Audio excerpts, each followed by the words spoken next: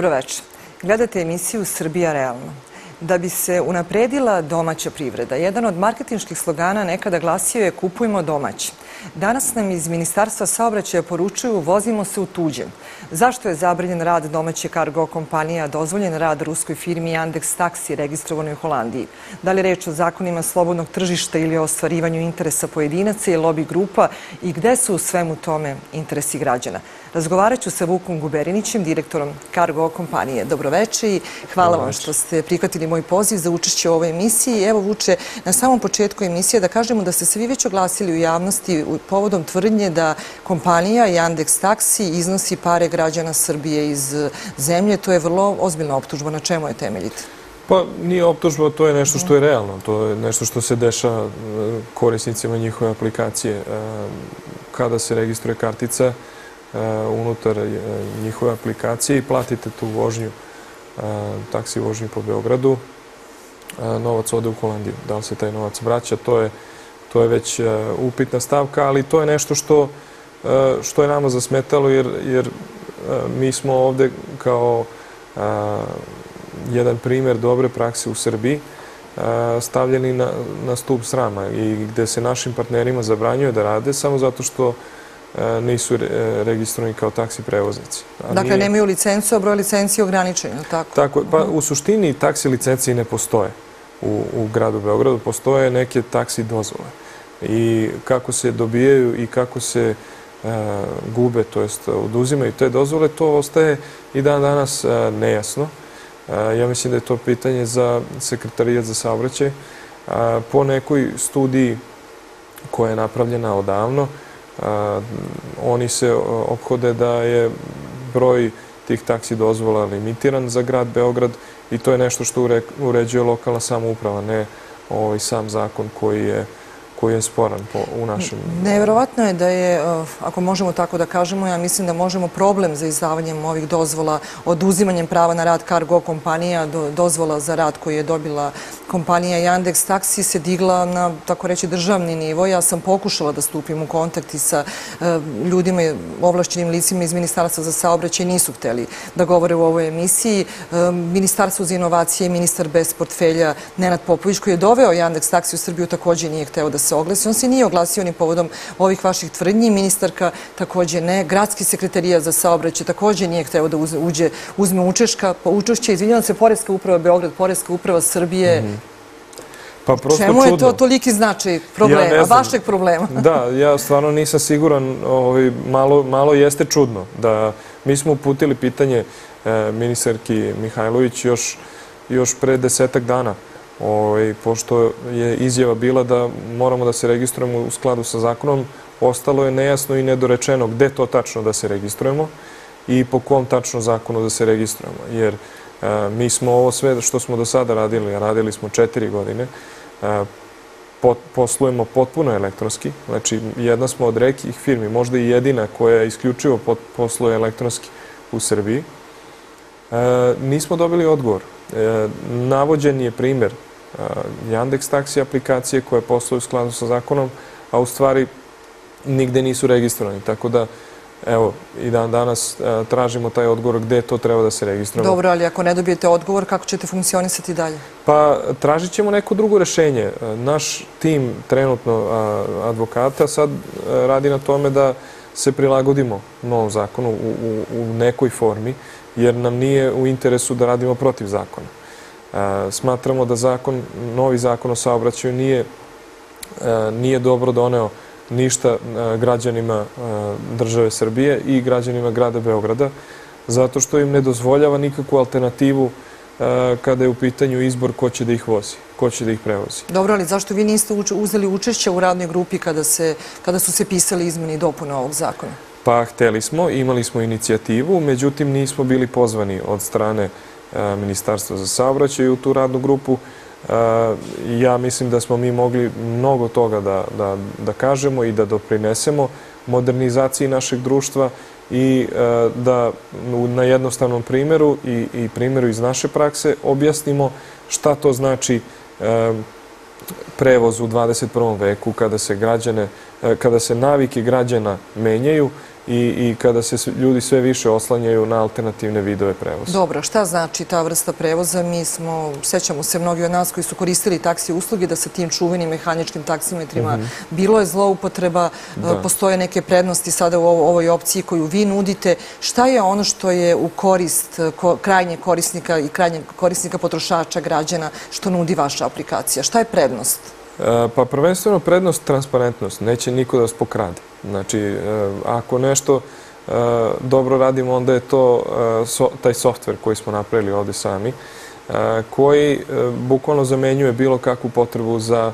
taksimetrom. I već se cena izračunava putem aplikacije na osnovu pređene kilometraže i minutaže u samom vozilu.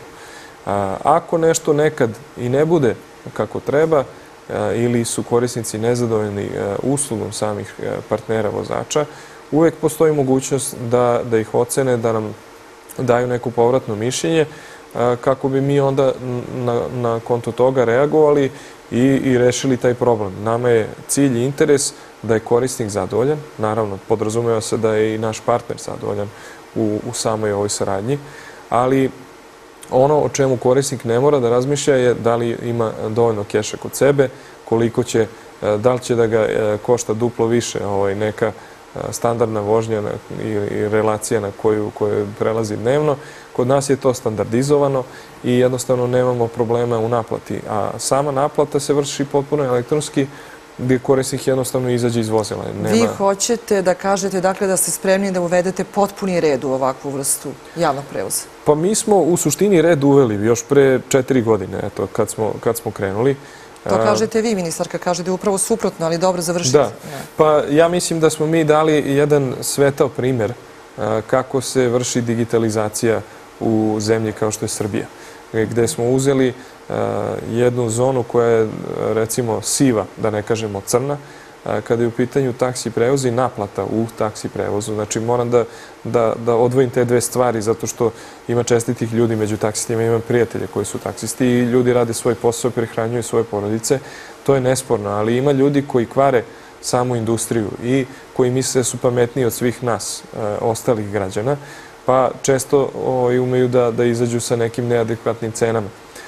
Mi smo postavili primjer i vidjeli smo kako to ljudi rade u inostranstvu, To smo napravili ovde sami i e, eto, uspešno se time bavimo skoro četiri godine. E, toliko uspešno da smo izgleda nekom zasmetali. To ćemo da vidimo da li je tako, kao što kažete, da ste nekome zasmetali. Da li je tačno da ste posljednje dve nedelje dobili više od 250.000 poruka podrške od vaših korisnika? Meni je to vaš PR prosledio te informacije, a da je broj vožnji porastao za 30% na dnevnom nivou.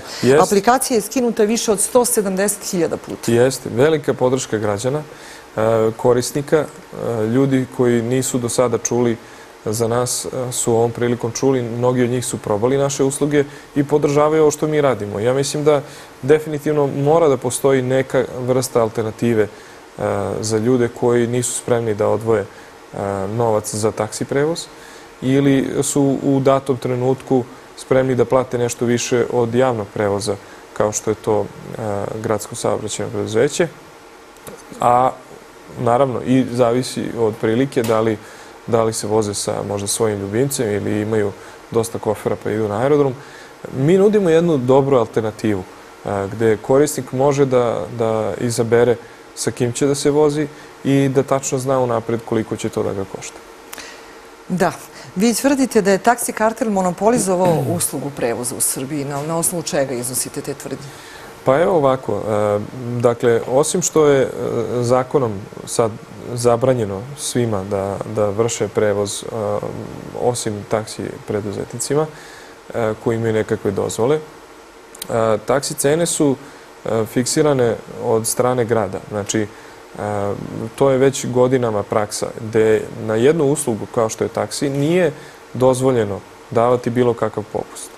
Znači, imate jedan absurdan primjer kako e, može da se fiksira maksimalna cena hleba, ako računamo da je to neka merna jedinica za za život, e, a isto tako u istom gradu imamo minimalnu cenu koju e, taksi može da naplati.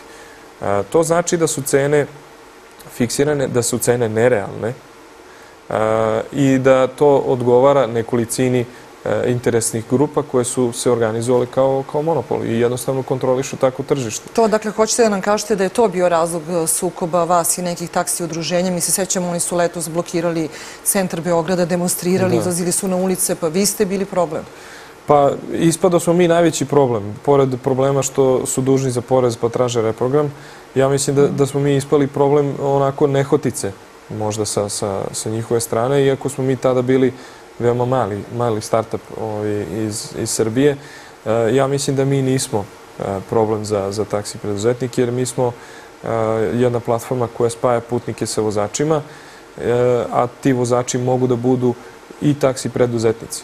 Znači, naša trenutna odluka je da ne radimo sa taksi prevoznicima u u, u Beogradu. Možda, možda ćemo raditi sa njima u Srbiji, možda ćemo raditi sa njima u Beogradu u, kada za to dođe vreme. Ovo što mi nudimo, e, znamo i sigurni smo da je e, jedna usluga na, na višem nivou nego što je taksi, a opet po povoljnijoj ceni. Verujem da ćete mi reći da vi naravno porez redovno plaćate, izmirujete svoje porezke obaveze u Srbiji za Yandex, međutim tvrdite da to nije tako. Vi ste mi prosledili mailom čak račun Yandex kompanije da, da bismo vidjeli da oni jednostavno ovde nisu prijavljeni u ovoj državi, čime to potvrđuju. Pa. Oni su registrovani u Holandiji. Da. Vi u Srbiji, ni ministarka Zorana Mihajlović, ni ministar Popović, dakle niko se nije oglasio da nam objasni Pa, kuda idu naši novci? Yandex Taxi se oglasio. Oni su potvrdili na svom Facebook kanalu da su registrovane firma u Holandiji. To nije, nije ništa novo. A nama su se javljali korisnici e, njihove aplikacije da su nam prosledili račune koje su dobijali, koji u suštini nisu u skladu sa zakonom Republike Srbije i, e, i sa jasnim dokazima da, da novac ipak ide u Holandiju ali ne bi se puno osvrtao na to, to je njihov njihov deo posla i poslovanja. Za nadležne je da utvrde da li je to u skladu sa zakonom ili ne. Ono što mogu da kažem sa sigurnošću je da mi plaćamo naš porez ovde i da, naravno, da ne plaćamo ne bi bili aktivni. Mi smo bili predmet šest različitih inspekcija koje su nam taksisti poslali pre tri godine, pa onda pre godinu dana, svake godine otprilike. I nijedan prekršaj nismo napravili do sad. Stvarno se trudimo da domaćinski vodimo ovu firmu i ja se nadam da, da takvih uh, stvari neće ni biti. Da li između direktora, odnosno menadžera za Srbiju i centralnu i istočnu Evropu za kompaniju Yandex Taxi. Između njega i vas postoji neki lični animozite. Zašto vas ovo pitam? Evo, meni je šefica PR, um, međunarodnog PR tima Yandex Taksija poslala, ovo je, ovo su, ovo je sa maila skenirano, dakle, e, odgovore na moja pitanja koje sam žela da postavim gospodinu Dejanu Jefimu, koji inače živi u Ljubljani i u Sloveniji, bio je pozvan da dođe u našu emisiju, nije došao, ali ono što je interesantno, jedan vrlo za mene neobičan, neobičan komentar. Ona mi je napisala da vas gospodin Dejan Jefim puno pozdravlja, da bi volao sa vama da se vidi licem u lice u studiju, ali je prosto sprečen. Želim vam puno sreće u daljem radu. Evo, pa nije baš umjesto da vam ja privatne ovaj, poruke prenosim, ali prosto sam morala, ali i mene samo to vrlo iznenadilo. Prilično neprofesionalan gest. Pa, e, tačno je da ja poznajem Dejana i žao mi je što on danas nije ovde. Verujem da bi mogao da ponudi neke neke odgovore na, na sva ova pitanja. E, ja njega ovom prilikom pozdravljam i, i želim mu uspeh u daljem radu. Da, ali e, ono, što, ono što mi radimo ovde je nešto što se, što se dešava već, već četiri godine. Znači, mi smo pažljivo gradili ovaj biznis i ja mislim da je ovaj novi zakon umjesto da je doprinao građanima E, Republike Srbije. Ja mislim da je oduzeo jednu dodatnu mogućnost. Sad, e, ja mislim da nije kraj našoj borbi. E, mi imamo to neko vreme prilagođavanja i ja sam siguran da ćemo naći načina kako ćemo da opstanemo i dalje na, na tržištu i da i dalje nudimo ove naše usluge. A koje je to vreme prilagođavanja koje vam je dato, pa predloženo do, do strane ministarke? Do tri meseca. Ja verujem da ćemo... Kako vi vidite rešenje? Morate imati neku viziju, verujem. Pa imamo viziju i na tome, na tome trenutno radimo sa našim pravnim timom. Uh A, mogu da kažem samo da, da ćemo dati sve od sebe i da verujem da ćemo uspeti na kraju da da nastavimo sa radom. E, da li u ovom ili onom obliku, e, to ostaje da vidimo, ali ono što što bi nama odgovaralo i što bi bilo fair ka krajnjim korisnicima, to jest građanima, je da postoje, e, postoji neki red kada je u pitanju limo servis i izdavanje licenci za limo servis operatere, koji bi morali da ispune neke uslove, naravno, i, i, morali, i morali da se negde registruju. Sad, eto, ostaje da vidimo da li će do toga doći, ovaj, jer mi smo spremni da, da koliko toliko pomognemo naše partnere da postanu licencirane limo servis operateri. Do sada nisu bili zato što nije, jednostavno nisu postojali licenci. A po kom zakonu ste vi do sada poslovali? Po zakonu o turizmu koji je e, definisao iznemljivanje vozila sa vozačem. E, I to je ono što smo mi radili, samo što smo radili to na, na minut, naravno, uz ugovornu obavezu kroz samu aplikaciju. Da.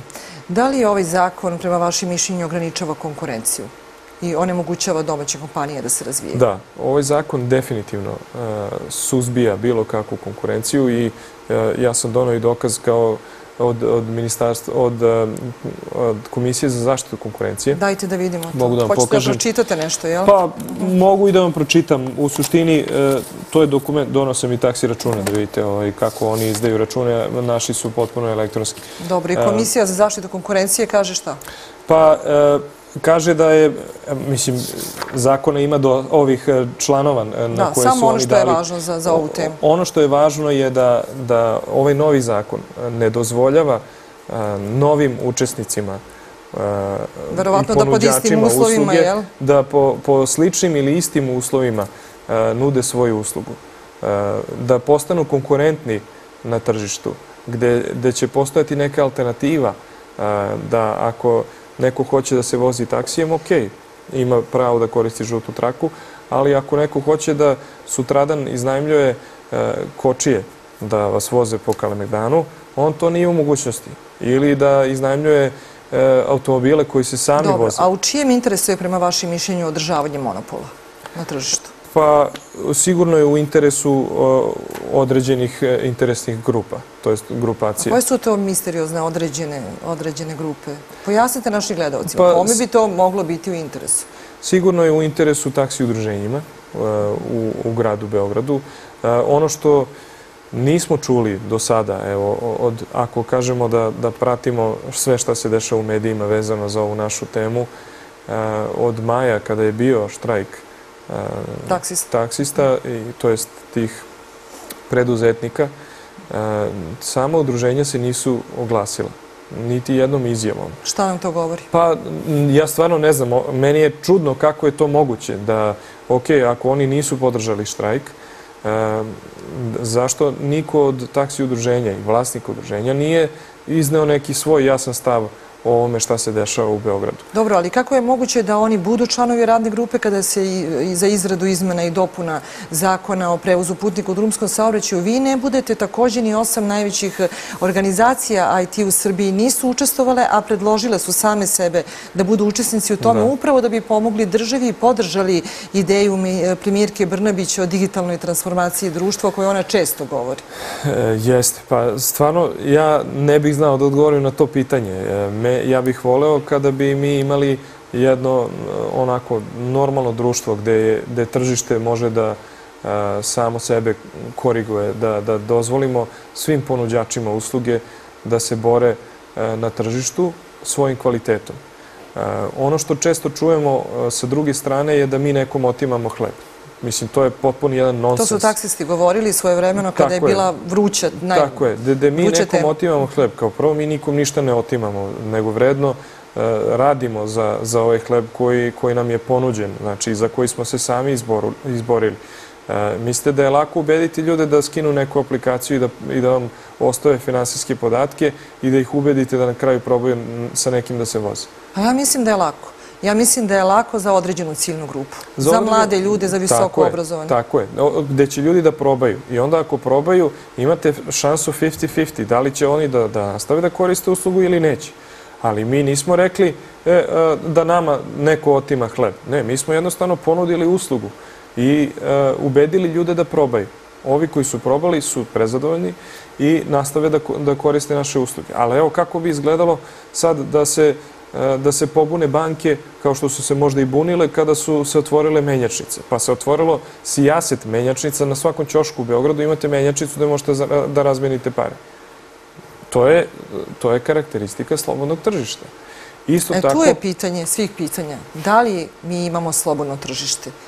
Pa koji su principi poslovanja na slobodnom tržištu? To je prividno je da, je da je slobodno tržište i onda dođe regulacija takva da, da zabrani bilo kome da prevozi ljude. Znači, novi zakon ne definiše da, da kombi može da prevozi ljude od vrata do vrata. A kombi industrija, na primjer, razvijena 25 godina kod nas bolje radi nego u zapadnoj Evropi. I upravo radi to, prevozi ljude od vrata do vrata. Tako je. I to nije definisano ovim zakonom. A bila je prilika da se i to definiše. Ljudi plaćaju svoj porez, imaju licence i ovo i on. Sad, e, zabranjuje se ljudima da voze ljude u, u ekonomskim automobilima, nego mogu, moraju da ih voze u luksuznim automobilima od 25.000 evra, što je neprimereno za za naše građane, a ne dozvoljava se e, nikakva alternativa taksiju, e, a taksi može da ima i automobila od 30 godina starosti. I ima ih na ulicama Beograda. Ima značajan broj, tačno, to znamo svi koji koristimo. Jeste. I, I sad to je, to je fakat. E, imamo određeni broj tih taksi dozvola, nema novih. Čuo sam da na, na, na nekom crnom tržištu može da se dođe preko veze, pa imam čoveka, pa on završi neku taksi dozvolu i čovjek ide da taksira kao da, da upisuje e, astrofiziku.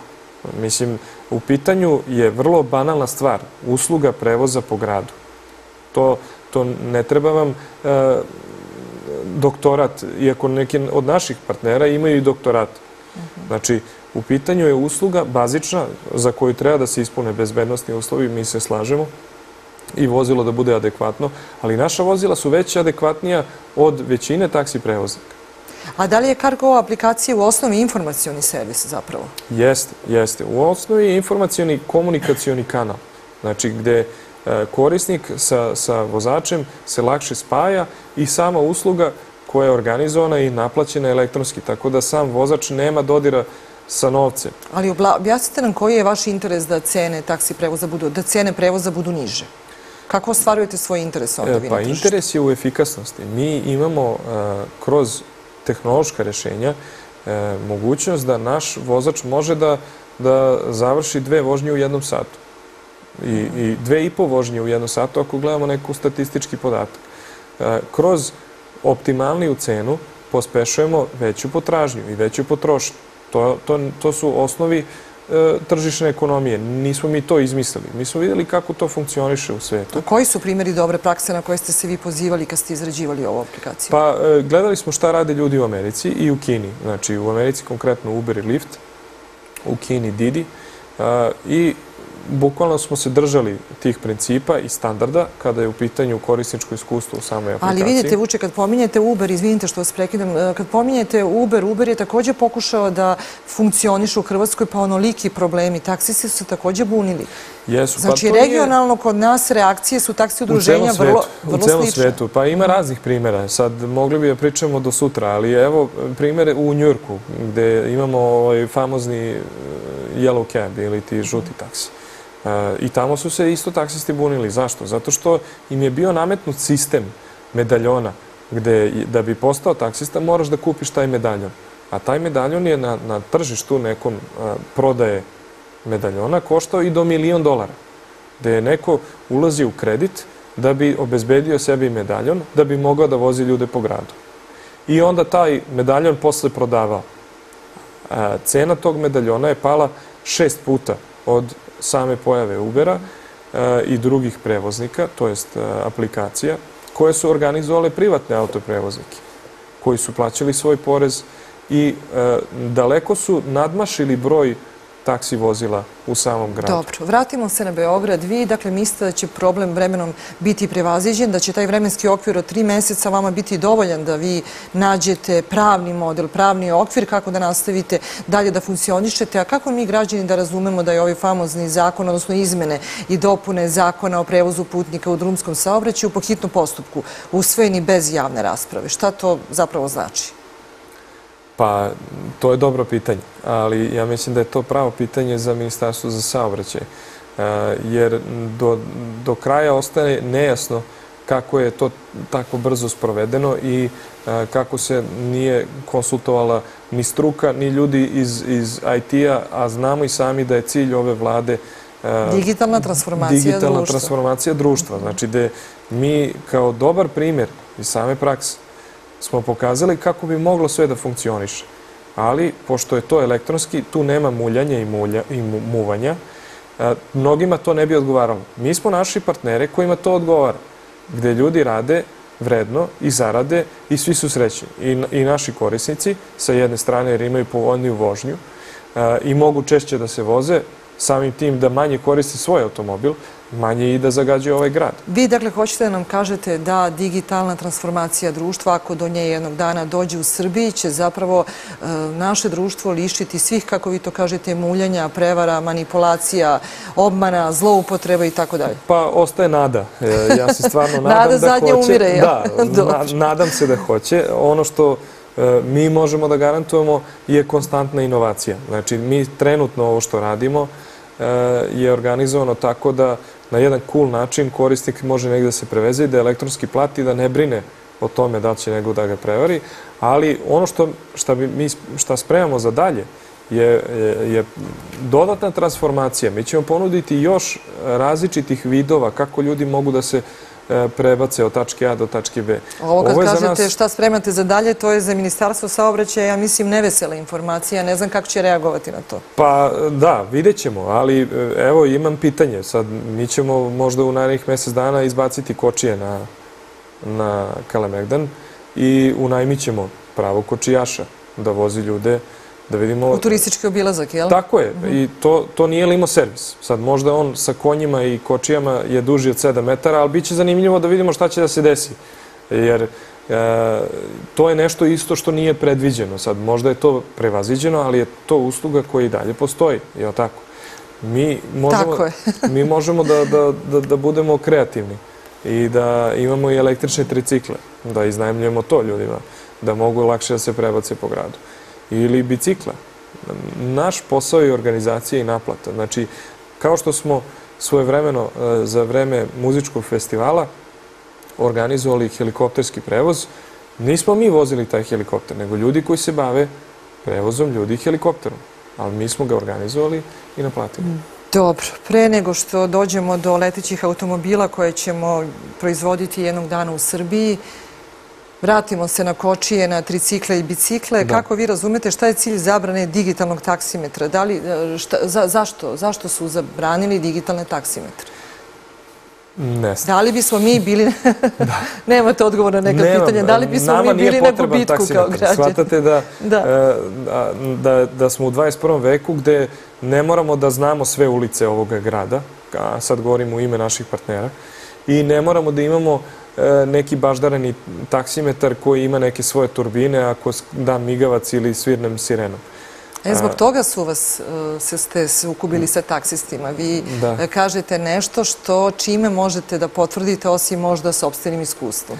Da, pa, ali takvih iskustava je dosta. Znači, ljudima je, građanima je više dojadilo da slušaju takve priče i da budu deo takvih priča. Kada dođe stranac, I onda I vozi ga od aerodroma do centra grada, onda on plati kao da obilazi državu New York, jel? Tako je, ali to kod nas nije slučaj. Ja ne kažem, to je nekolicina ljudi koja to radi. Gleda da se na brzinu obogati. Ja se nadam da će novi zakon to sprečiti u smislu da sada e, komunalni policajci koji imaju više e, e, nadležnosti mogu da u takvim situacijama reaguju da to sprovode. Ono što mi radimo nema šanse da se da se nešto tu e, izbaždari, da bude nešto što je nepovoljno. Da li je vas e, iznenadila, možda zbunila izjava direktorke Međunarodnog monetarnog fonda Christine Lagarde koja je pohvalila srpsku IT industriju i rast njenog izvoza od 30% godišnje, navela je da je vlada Srbije u tome dobro prepoznala mogućnost rasta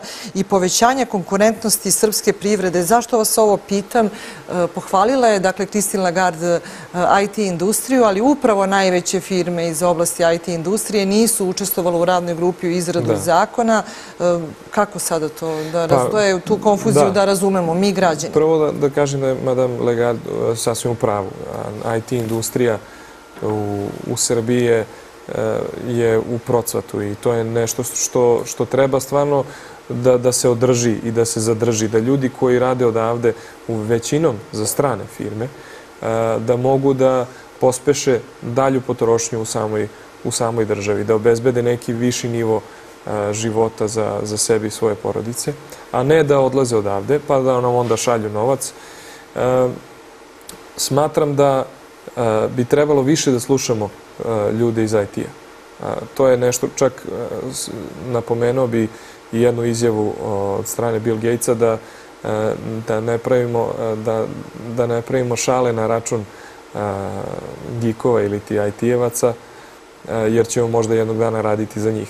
Istu poruku i mi šaljemo, jer gledamo da, da pospešimo kroz tehnologiju, da pospešimo eh, i prihode i, i način i stil života. Eh, ali da to uradimo i za prosječnog građanina, da može da se osjeća čovjek svetski, u Beogradu. I da se osjeća sigurno, to je važno. Za svojih 300 dinara koje će da ga prebace 3-4 km u sred Beograda i u sred Špica. Da li je vaša poruka, Vuče, da ljudi koji se e, ne poznaju programski jezik i nemaju ni elementarna znanja iz oblasti informatike, treba da imaju strah neki ili otpor prema korišćenju, evo, konkretno aplikacije Cargo? Ne, upravo suprotno. Ja mislim da kogod se prvi prilagodi e, tehnološkom e, razvoju, bez obzira na to da li imaju neko predznanje, E, da će biti u nekoj prednosti, jer e, tehnološki sat e, otkucava mnogo brže ovaj, od biološkog.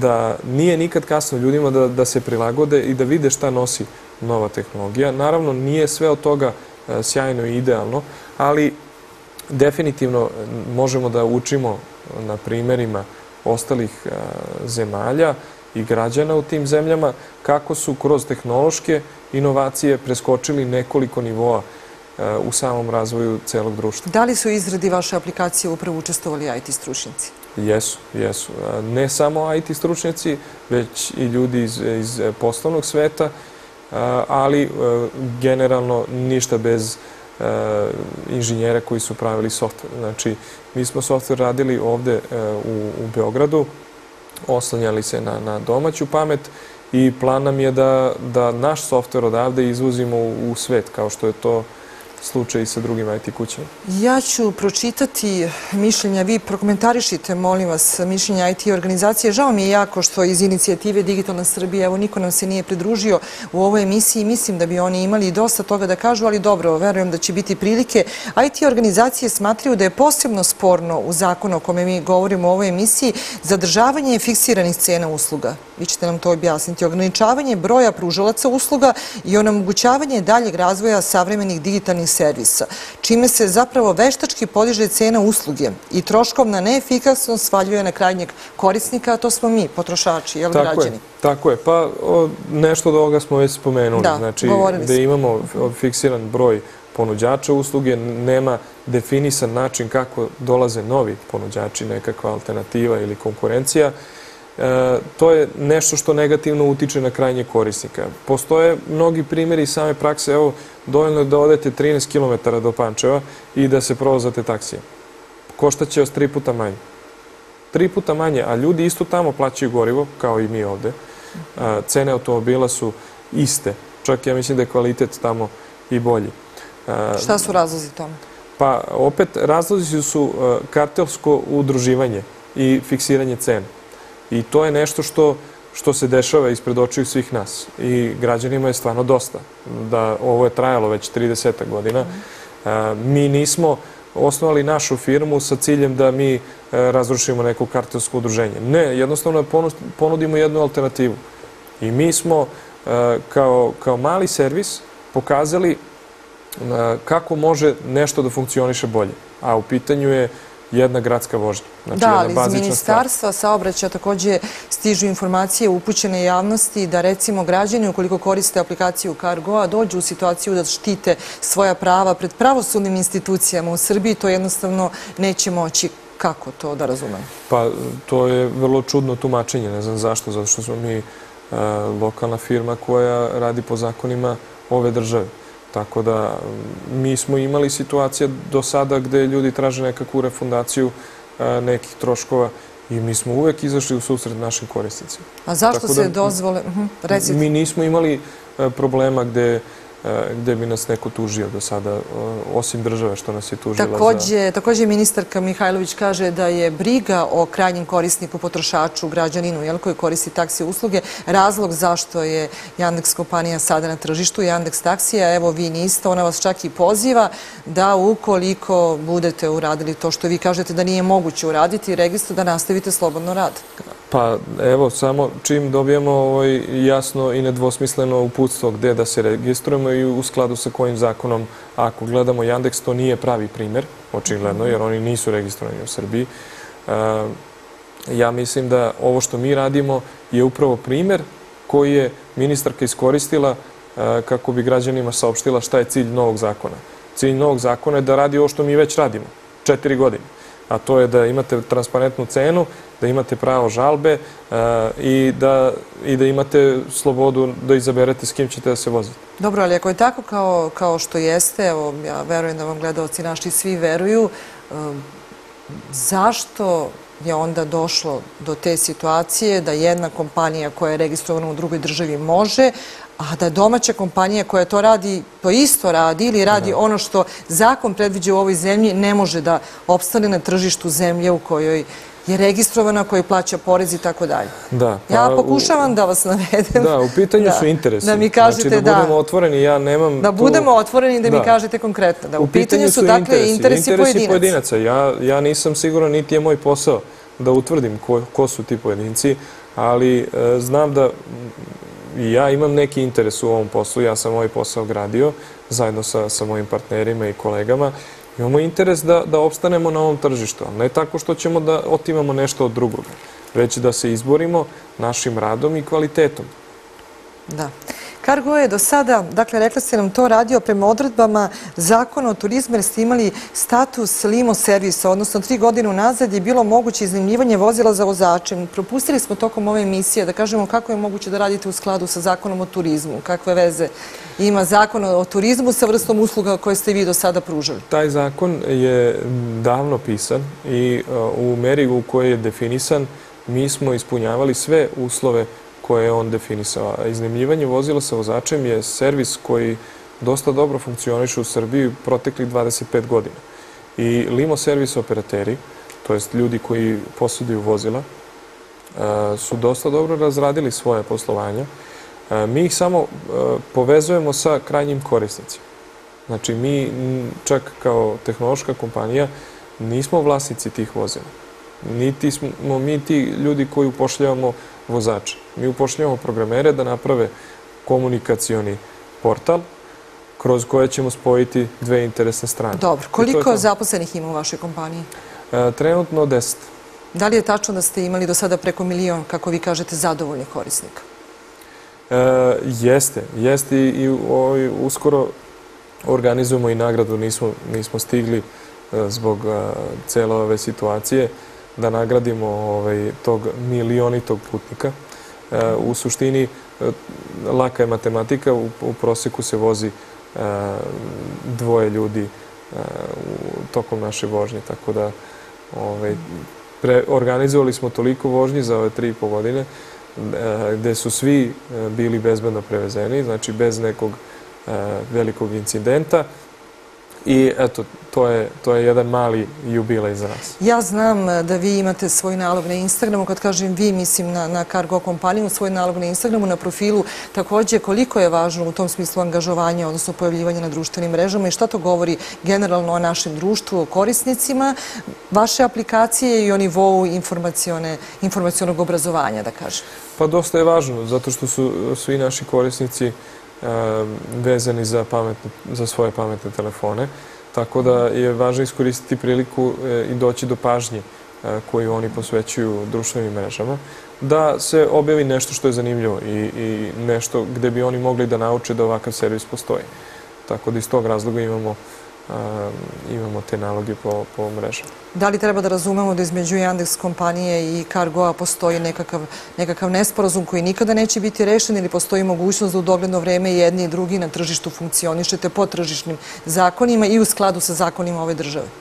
Pa ja stvarno ne mislim da postoji nekakav nesporazum. Naš cilj je da, da razvijamo i, i da unapređujemo našu aplikaciju i da imamo što više naših korisnika. E, mislim da nije bilo fair e, da, da su nas ovako proglasili mrtvim kao, kao aplikacijom ovaj, e, prerano i otpisali.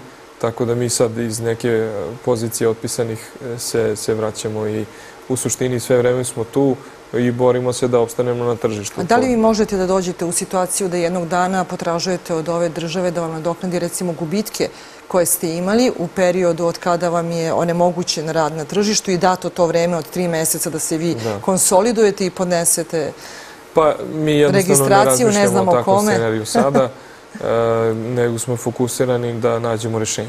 I nama je samo to cilj da nađemo rešenje i da, da opstanemo na, na ovom tržištu i da nastavimo da rastemo. To, to, to nam je glavni cilj. Da li je vaš poslovni model zaista prilagođen i da li on odražava savremeno društvo u kome Srbija teži?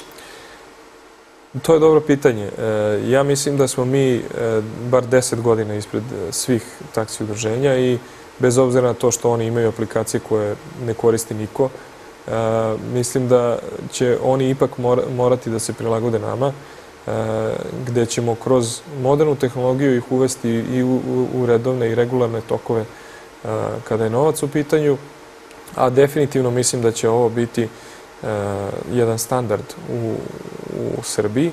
Trenutno mi smo ga postavili kao standard u Beogradu. Naša aplikacija je svetao primjer koji šaljemo odavde iz Srbije. Da li će nesporazumi koji ste imali sa taksi udruženjima svoje vremeno biti rešeni, trajno i konačno? Pa ja se nadam. Naravno, mi nismo neki ljudi koji su spremni za konflikt. Nama je u interesu prvenstveno da ostvarimo ekonomski uspeh znači da budemo potpuno otvoreni. Ekonomski e, uspeh svoje kompanije. Tako je, tako je. E, sad, ko je deo te kompanije? Ali ne urušavajući interese građana, jel? Naravno, ako vas dobro razumem. Naravno, pa građani su na prvom mjestu, to su potrošači. Jer ako, ako neko napravi neki gaf ili e, nešto što se građanima, potrošačima ne sviđa, oni će vrlo lako na to odreagovati tako što će da izbrišu aplikaciju, recimo. Vi ste dakle nova generacija poslovnih ljudi u zemlji koji kada kažu građani su na prvom mestu ili narod je na prvom mestu, onda to zaista i mislite.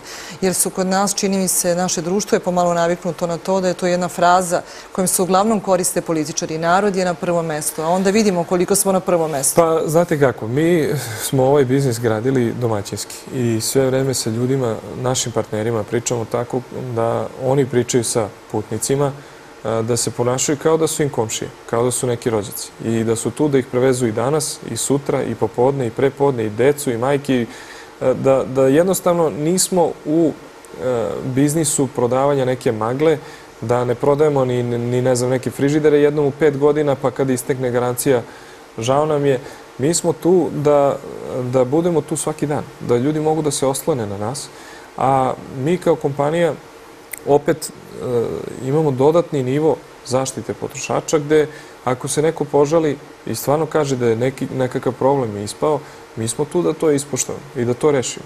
I sa strane korisnika i sa strane partnera.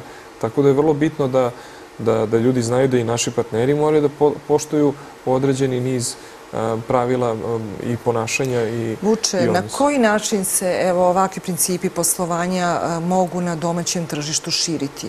Kako se u tom smislu može napredovati? Mi smo na samom kraju ove emisije. Mhm. Prosto da kažemo ljudima da ovo nije kraj čitave priče. Dakle, ovo društvo zaista mora barem krenuti putem digitalne transformacije društva. Šta se još može učiniti? Da li mi imamo dovoljno stručnjaka iz oblasti IT sektora koji toj digitalizaciji, digitalnoj transformaciji, izvinjava se društva na koji se toliko mnogo i često poziva premijerka Brnabić, zaista mogu pomoći da se to realizuje? Pa ja mislim da može, e, da možemo svi zajedno. E, vrlo je bitan taj pozitivan stav. Također, mislim da ima dovoljno stručnih ljudi i dovoljno ljudi koji će da podrže nešto što je kvalitetno. Naravno, uvijek će biti onih koji, koji će da osporavaju. Dok, dok taj teg ne, ne pretegne i, i ne pređe veći broj na stranu kvaliteta. Mi, smo, mi ovo radimo dugo I imali smo i uspona dugo, i padova. radite četiri godine, ali tako? Tako je. Imali smo uspona i padova gde smo bili primorani da ugasimo servis par puta. A Jer zašto? Pa nestela nam je novca, nestela nam je programera. To je nešto što je normalno u svakom poslovanju, pa i, i u IT-u, e, gde inače nije jeftino napraviti nekakav softver, pogotovo ako ga pravite za lokalno tržište. Možete nam reći cenu?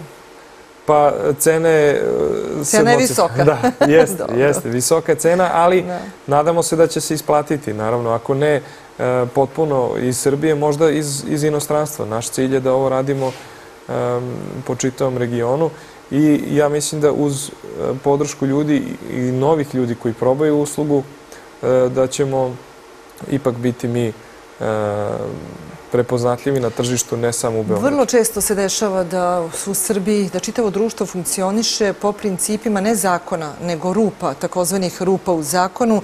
E, Hoću da vas pitam šta treba da podrazumeva jednak tretman klasičnih taksista i pružalaca alternativnih usluga prevoza. Dakle, kada zakon to predvidi, šta to treba da bude? Pa to bi trebalo da, da izgleda možda ili da se reši kao što su to rešile neke zemlje u Evropskoj uniji, e, gde postoje licenci i za jedne i za druge, da je cena određena e, za samu licencu koja važi za jedan grad i da ponuđača usluga može da bude neograničeno ili, ili da se ograniči na 30.000 za veličinu grada kao što je Beograd. Pa da onda svakom ostaje šansa da se oproba u, u tom nečemu. Kao što imate e, bezbroj pekara u Beogradu, je tako? Može svako da, da proba. Ne, ne mora da znači da će da uspe. U pitanju, e, u, našem poslovanju je u pitanju e, vožnja od tačke A do tačke B, koju može da ponudi čovek koji ima vozačku dozvolu i automobil. Zvuči tako jednostavno, ispostavilo se da je u praksi to veoma komplikovano. Ja vas pozivam evo da se vidimo za tri meseca kada istekne ni nešto malo manje, jel vi ćete mi reći tačno Da. koliko, kada istekne Hvala. taj rok koji je Da. ministarka Mihajlović vama dala da se registrujete, ne znamo gde, ali U nekako. skladu sa zakonom. U skladu sa zakonom. Potrudit ćemo se da, da radimo sve kao i do sada u skladu sa zakonom. I eto, e, hvala vam na pozivu e, i na ovoj prilici da, da razgovaramo. Žao mi je što, što niko se drugi nije pojavio, ali eto, možda više vremena za, za ljude da razmisle i da probaju nešto što, što još e, funkcioniše u Dobro. Beogradu. Vuče, hvala vam što ste bili moj gost. U izveštaju Svetske banke Srbija je nazadovala za pet mesta na Doing Business listi na koji su rangirane zemlje po lakoći poslovanja. Da li je onemogućavanje rada domaće kompanije Cargo još jedan od razloga da predsjednica vlade Ana Brnabić preispita da li su svi ministri poštovali politiku vlade i prioritet za koje se vlada zalaže u cilju reformi i napredovanja zemlje, pokazat će vreme. A šta znači odbijanje poziva za učešće u ovoj emisiji predstavnika Ministarstva saobraćaja i drugih relevantnih sagovornika uz prebacivanje odgovornosti sa jednih na druge ili odbijanje da se, kako kažu, eksponiraju, najbolje će proceniti sami gledalci. Gledali ste Srbija realno, vidimo se za sedam dana. Prijatno.